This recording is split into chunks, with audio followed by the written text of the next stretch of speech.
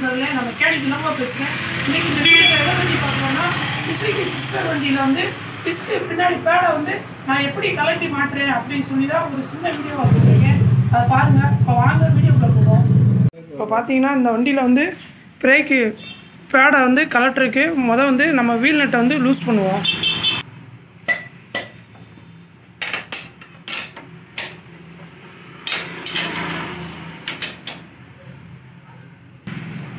பார்த்தீங்கன்னா வீல் நட்டை வந்து கழட்டியாச்சு. அப்புறம் வீல் செட்டை வந்து நம்ம லைட்டாக உருவிக்கிடுவோம்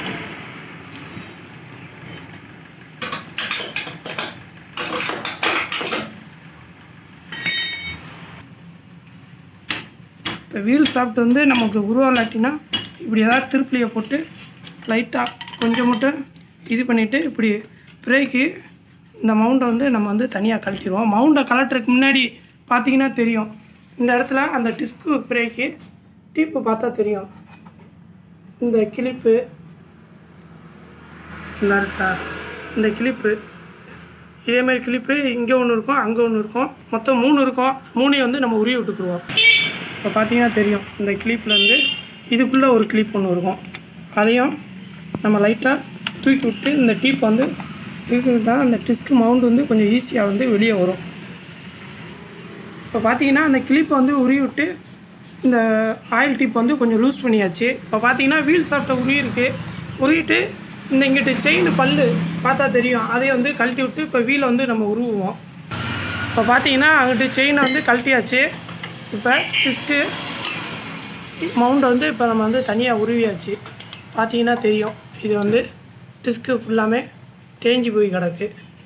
இப்போ இதை வந்து நம்ம வந்து கலட்டுவோம் இப்போ டிஸ்க்கு பேடை கலட்டுறதுக்கு பார்த்தீங்கன்னா தெரியும். இதில் வந்து சின்ன ரப்பர் மாதிரி கொடுத்துருப்பாங்க. இதை கலட்டி பத்திரமா வச்சுக்கிடுவோம். வச்சுக்கிட்டு இந்த இந்த ஸ்க்ரூ பார்த்தா தெரியும். அஞ்சாம் நம்பர் அலாங்கி. அதை வந்து கலட்டுவோம் கழட்டிட்டு அந்த டிஸ்க்கு பேடை வந்து நம்ம வந்து வெளியே எடுத்துருவோம். இந்த ஒரு ஸ்க்ரூவை மட்டும் கலட்டினாலே போதும். நமக்கு வந்து டிஸ்க்கு பேடை வந்து வெளியே எடுத்துடலாம். இப்போ இந்த ஸ்க்ரூ வந்து கழட்டியாச்சு. பார்த்தீங்கன்னா தெரியும். டிஸ்க்கு பேடை வந்து நம்ம வந்து இப்போ கழட்டியாச்சு.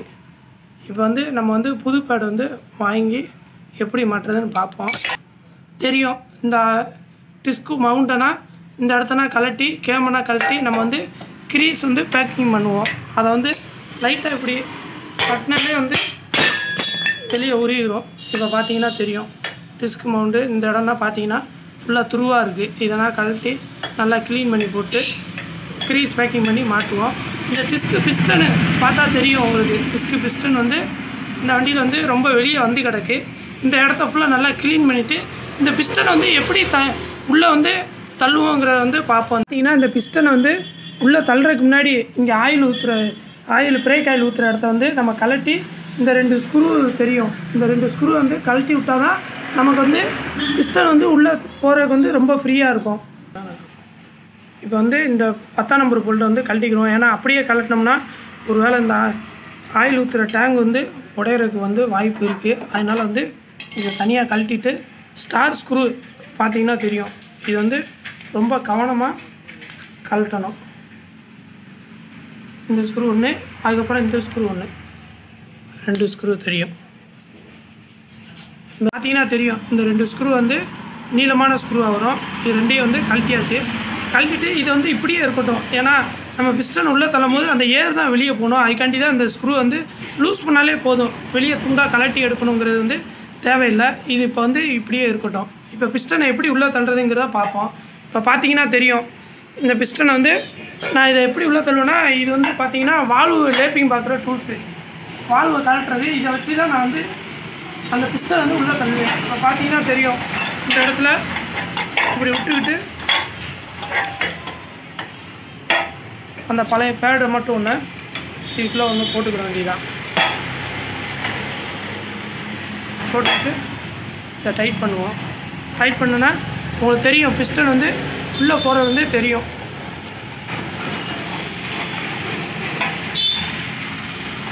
உள்ளே போகுதா? கிட்ட வச்சு பார்த்தீங்கன்னா நல்லா தெரியும்.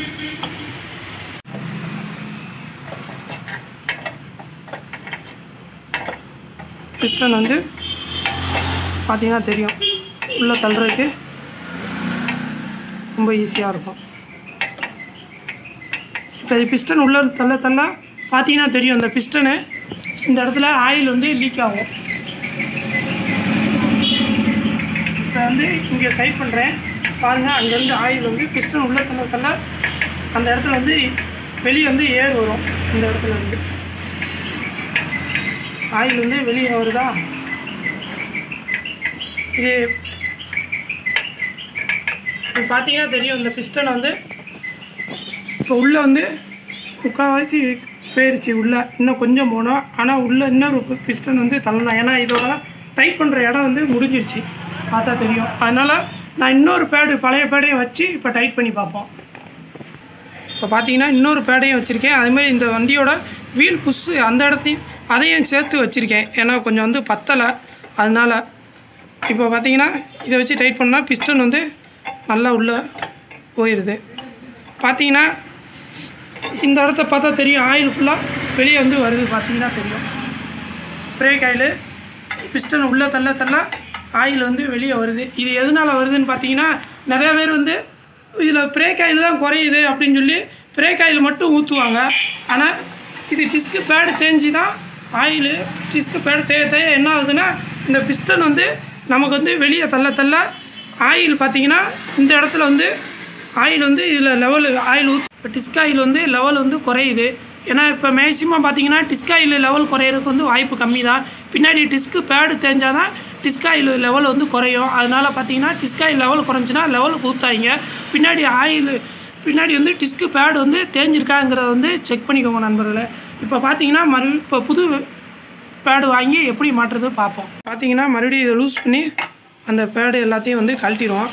கழட்டிட்டு நம்ம புது பிரேக் ஷூ வாங்கிட்டு வந்து எப்படி மாட்டுறதுங்கிறத வந்து பார்ப்போம். இந்த டிஸ்கனா கேமு எல்லாத்தையும் கழட்டி க்ளீன் பண்ணி எப்படி மாட்டுறதுங்கிறத வந்து பார்ப்போம். பார்த்தீங்கன்னா புது டிஸ்க் பேடு வந்து வாங்கியாச்சு. இந்த பழைய பேடை பார்த்தீங்கன்னா தெரியும். இந்த பழைய பேடில் பார்த்தீங்கன்னா ஒரு சைடு மட்டும் பின்னாடி பார்த்தீங்கன்னா இந்த தகுடு ஒன்று வரும். அதை வந்து கழட்டி புது பேடில் வந்து கவனமாக மாட்டிக்கிறணும் ஏன்னா தகுடு இருக்கிறதே ஒருத்தவங்களுக்கு வந்து தெரியாது. அதனால் இந்த தகுடு இருக்கா கரெக்டாக பார்த்துக்கணும். இப்போ பார்த்தீங்கன்னா இந்த கேமு கேமை பார்த்தீங்கன்னா லைட்டாக க்ளீன் பண்ணி லைட்டாக மட்டும் க்ரீஸ் வச்சுருக்கேன். க்ரீஸ் வச்சு இப்போ இந்த கேம் வந்து நம்ம வந்து மாட்டிடலாம். பார்த்தீங்கன்னா தெரியும். கேம் வந்து ஈஸியாகவே சொருகிடலாம். இப்போ கேமரா மாட்டின பிறகு இந்த இந்த டிஸ்கில் உள்ள மவுண்டில் பார்த்தீங்கன்னா இந்த ஒரு தகுடு ஒன்று வரும். அதுக்கு ஒரு காடி மாதிரி இருக்கும் உள்ள. அதுக்கு நேரம் வச்சு நம்ம இந்த இதை வந்து மாட்டிடலாம். மாட்டிட்டு டிஸ்க்கு பேடு இந்த சைடு ஒரு பேடு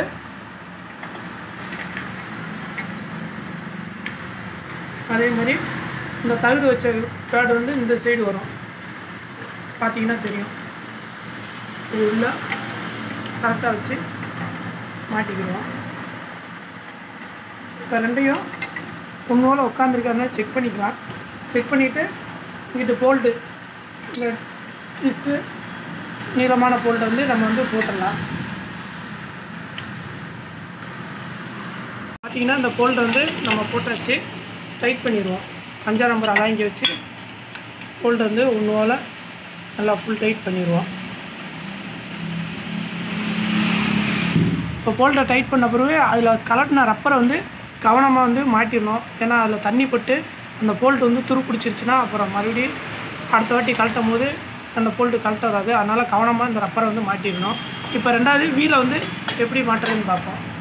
இப்போ பார்த்தீங்கன்னா இங்கிட்டு செயின் ப்ராக்கெட்டு அது போக வீல் சாப்பிட்டு இந்த டிஸ்க்கு மவுண்டு எல்லாத்தையும் மாட்டியாச்சு. இப்போ பார்த்தீங்கன்னா வீல் நட்டை போட்டு டைட் பண்ணுவோம்.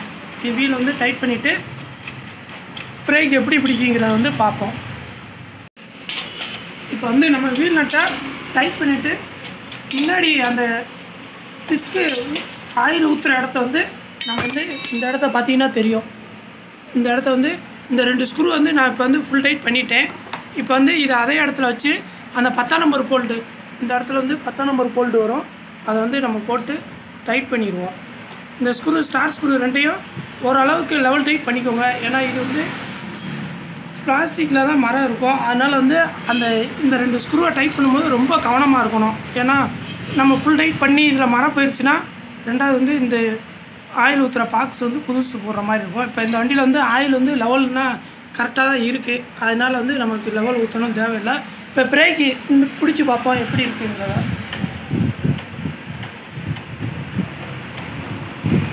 இப்போ பார்த்தீங்கன்னா தெரியும். பிரேக் வந்து நல்லா நிற்கிது இப்போ வண்டியை வந்து ஸ்டார்ட் பண்ணி கூட பார்ப்போம். பிரேக் பிடிச்சி.